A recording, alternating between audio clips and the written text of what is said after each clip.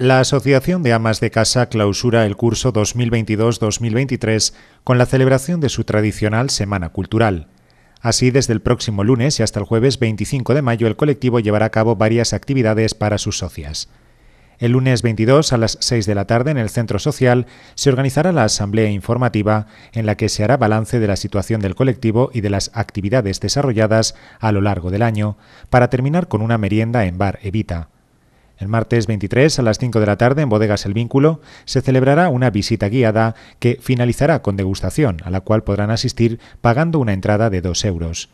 El miércoles 24, desde las 12 de la mañana, la asociación celebrará su popular caldereta en San Isidro, animando a las socias que acudan a llevar los postres y permaneciendo durante gran parte de la jornada en la pradera para disfrutar de la convivencia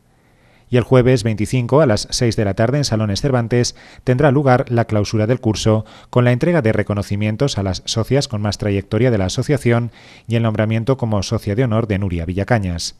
Una merienda que estará amenizada por el alumnado de la Escuela de Danza Actitud, acto para el que hay estipulada una entrada de 20 euros.